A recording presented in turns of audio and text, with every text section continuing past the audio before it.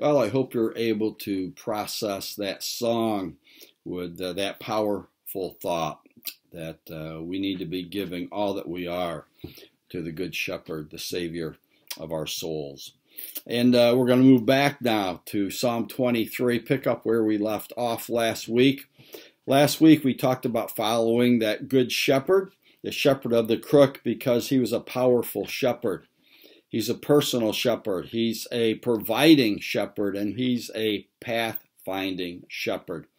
Today we want to begin with verse 4, and we learn in verse 4 that he is a protecting shepherd.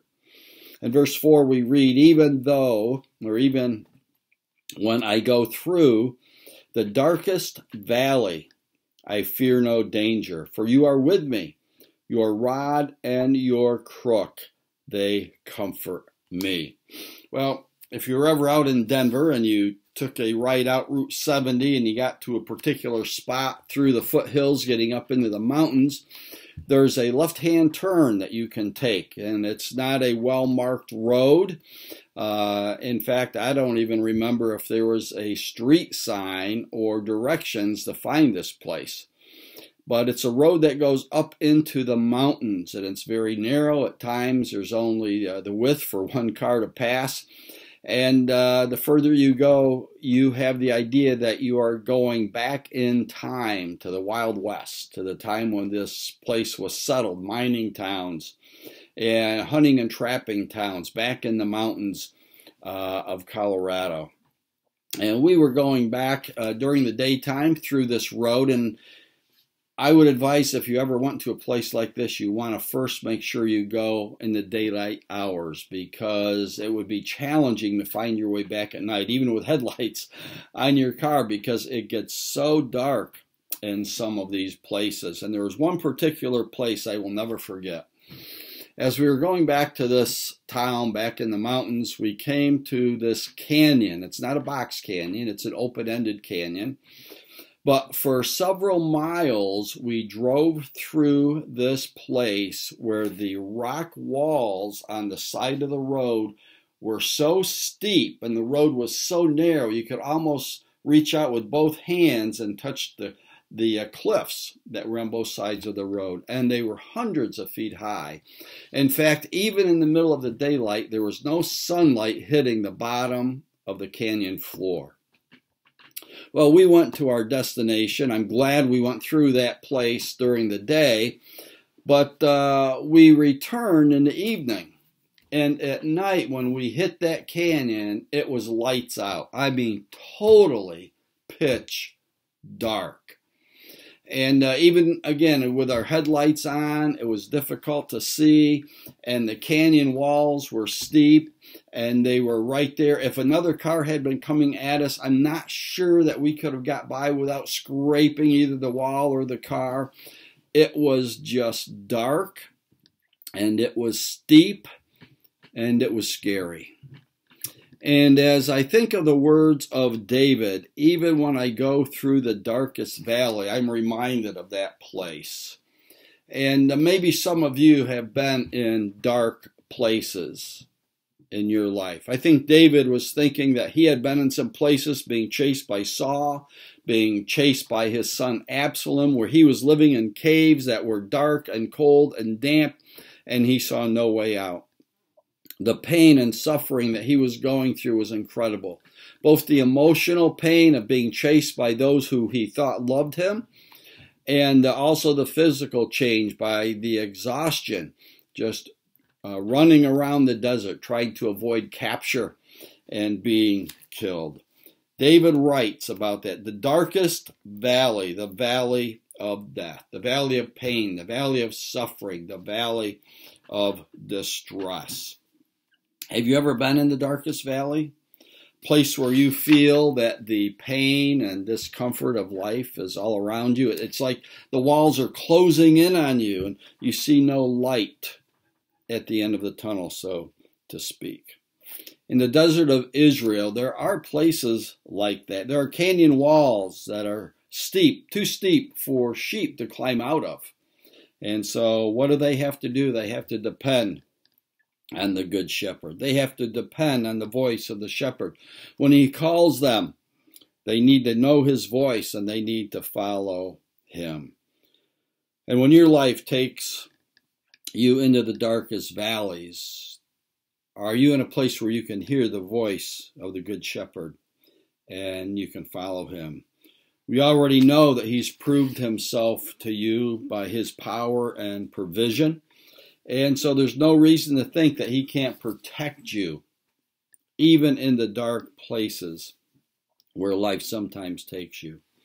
I like the way the message translates the second line in that verse. It says this Your trusty shepherd's crook makes me feel secure. You see, there are a couple of basic tools that the shepherd has. And uh, one is the uh, crook, and the other one is the rod. And the rod is a club, and the club was used to ward off animals that would attack the sheep, wolves or lions or bears, uh, or even a thief that might come. And the shepherd would use that club and, and ward him off. Now we know that David had some other experiences. He was a slingshot artist. And the slingshot is good for trying to get rid of the enemy at a distance. But when the enemy is face to face, you need some other kind of tools. And one of them is a club. And so uh, David would use that club. And he refers to that as his uh, rod. And the staff or the crook is that thing that makes you feel secure. It was a protective device. It was a kind of device that could pull you out of a tough spot, and the shepherd would use that. It was good for directing the sheep. It was good for keeping the sheep moving in the direction that the shepherd wanted the sheep to go, and of course, corralling them if necessary. You see, by way of application, the Good Shepherd has tools to ward off the enemy that might come face to face with you in these days. He has tools to keep you moving in the right direction. He has that rod and he has the staff, the crook. Remember, he's a pathfinding shepherd. He wants to keep you moving in the right direction. And when you are moving in the direction that he wants you to move in, he's right there protecting you all the way. He is a protecting shepherd. And he uses that rod and staff to protect you, even in the darkest places of life. Right now, with this COVID 19 thing going on, you might feel that you're in a very dark place. I have to uh, admit, I'm getting a little bit of cabin fever. We went out uh, for the first time in two weeks yesterday to get some groceries and uh, even with that, I wasn't real comfortable. I have to be honest with you. But I knew that God was going to protect us. I knew that there were things we needed to do. And uh, so we did them. And uh, here we are again today under the protection of the Good Shepherd. The second thing I want you to pay attention to today is also in verse 4, the second part of that, where David says, I fear no danger, for you are with me. I want you to make note of the fact that he is not only a protecting shepherd, but he is a present shepherd. He is present. I fear no danger, for you are with me. Uh, when I was about 10 years old, my dad used to uh, take me hunting with him. I think that was about the first uh, time I went, about that age and we would get up what seemed to be in the middle of the night, about five o'clock, and we would uh, load up and bundle up because of the cold weather, and we would drive an hour, hour and a half to his hunting spots, and uh, we would make our way back into the deep woods. And at that time, the sun wasn't quite up yet, and so it would be dark, and there'd be all kinds of jungle sounds. At least it sounded like that to a 10 year old kid. But I never really thought much about it because I was with my dad and uh, he was leading the way. And uh, in addition to that, he knew the woods and uh, he knew where he was going.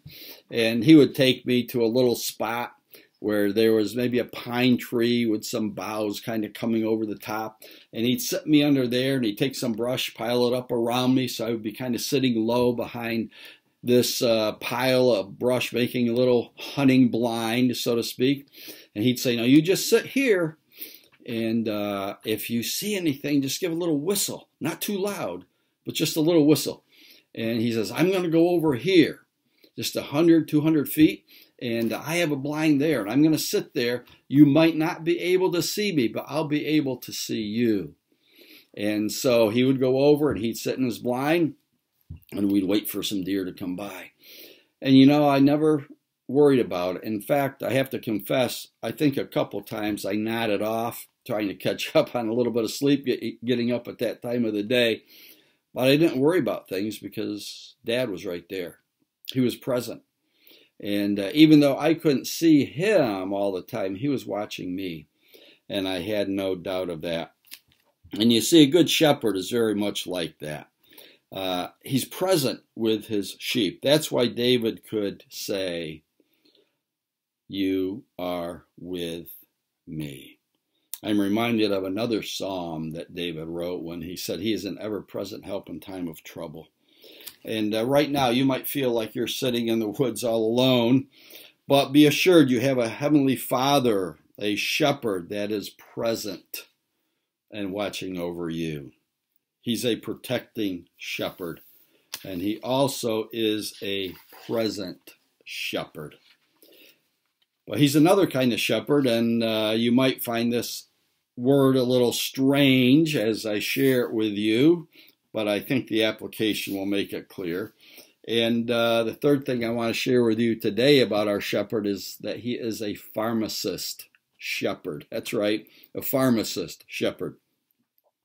If you look at verse 5, the shepherd says here, or David says about the shepherd, You anoint my head with oil, my cup overflows. I like the message. The message says, You revive my drooping head. You see, there's three qualities of oil there's a smoothness to the touch. You rub it on your skin and it makes it feel smooth. There's also a glossiness that brightens it to the sight. And then there's also a fragrance to it. So it gives off a perfume, an odor that's uh, pleasing. Now, as you can imagine, uh, oil was used for soothing medicinal purposes. It was an ointment. It was used to treat the skin to bring some color out and some gloss to it. And then, of course, it was used as a perfume to sweeten the air. Now, I don't think the shepherd was so much uh, intent on the glossiness of the sheep or their smell but he was interested in the medicinal use of it. Because as the sheep would wander around the desert and the crags of the rocks, they would get cut and scratched. And the oil was healing and soothing. And so he would use it. And so when he says, You anoint my head with oil, my cup overflows, He's saying that shepherd, when we get those knocks on the head, when we get those cuts and scratches that life often brings, the shepherd has a soothing ointment, a balm to bring comfort and healing. This reminded me of something that I, I think is very relevant in our day of the New Testament and that is that there is an application of the anointing of the Holy Spirit on every believer. In John chapter 14 and verse 15, Jesus says this He says, If you love me, you will keep my commands. And I will ask the Father, and he will send you or give you another counselor or comforter, the word is translated sometimes to be with you forever. He is the Spirit, the capital S, the Holy Spirit of truth. And as I said, sometimes the word counselor is replaced with the word comforter because it's the idea that the anointing of the Holy Spirit can bring comfort and healing into your life. To be sure, all followers of Jesus have the anointing of the Holy Spirit, which assures us of his presence and his power of healing and comfort in our lives. In fact, if you go to 2 Corinthians chapter 1 and verse 21, Paul says this. He says, Now it is God who strengthens us together with you in Christ, who has anointed us or who has poured out his comfort and healing on you. Isn't that awesome? And in 1 John 2, verse 20, John writes, But you have an anointing, that's the pouring out of oil, at least symbolically, by the Holy Spirit. And all of you know the truth. So, what he is saying here by way of application for us is that the anointing of oil by the good shepherd and the injuries of the sheep that brought healing and comfort to them is much like the anointing of the Holy Spirit in our lives. The Holy Spirit's anointing brings comfort and healing to us. And we can be assured of that. We know it is true. God's word is true, and He speaks the truth. And the truth here is that the Good Shepherd, the one with the crook, is like a pharmacist. And as he provided the healing oil and comforting oil for the sheep, the Holy Spirit does the same thing in our lives today. The Good Shepherd is a pharmacist, but he's also a pursuing shepherd. In verse 6, he says, Only goodness and faithful love will pursue me all the days of my life. Would you rather have someone chasing you down with a club or a cupcake? Well, I think you probably know my answer to that. I'll take a cupcake every day and make it chocolate if you can.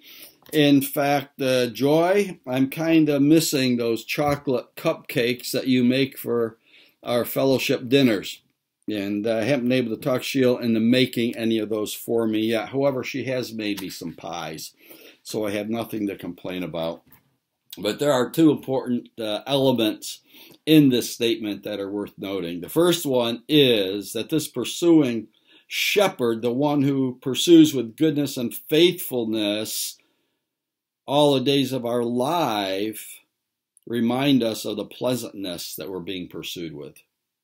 I think it's pretty cool that only goodness and love are following us. The good shepherd is chasing us, but in his hands are the gifts of goodness, the gifts of a faithful love. That's what he's chasing us down with. Isn't that incredible? He's not looking to beat us over the head with the club, he's looking to bring goodness into our lives and faithful love. Some translations say mercy. That's God giving us things that we don't deserve and that we haven't earned. But this reminds me of Matthew 7, where it says this What man among you, if his son asks him for bread, will give him a stone? Or if he asks for a fish, will give him a snake? If you then, who are evil, know how to give good gifts to your children, how much more will your Father in heaven give good gifts to those who ask him? See, it speaks to the pleasantness of the shepherd's pursuit. He's pursuing us with good things, and then it uh, addresses the persistence of the good shepherd.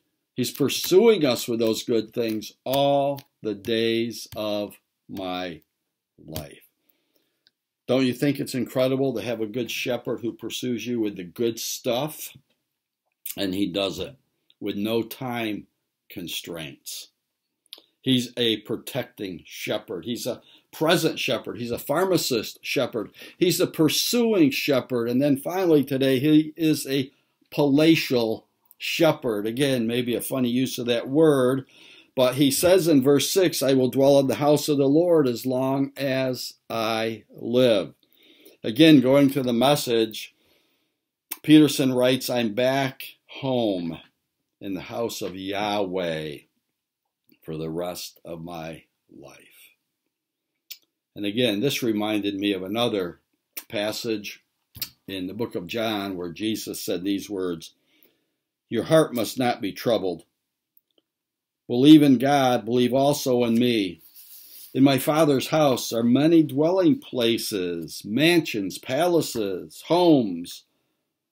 If not, I would have told you.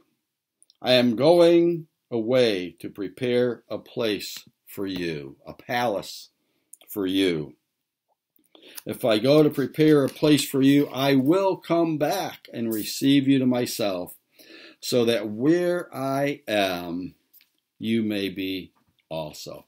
You see, the shepherd's just not leading you to some dugout in the desert. He's leading you to a palace where you will spend the rest of your days with Father God. What a good shepherd we have. He's a shepherd worth following. Amen? Well, at this time, I'm going to ask you to gather uh, your bread and your drink and uh, bring them around so we can gather around the Lord's table, at least in spirit, in the spirit of togetherness. And uh, as you're doing that, we're going to listen to a song by Fernando Ortega Jesus Paid It All. We'll be back in a minute when you're done gathering your elements.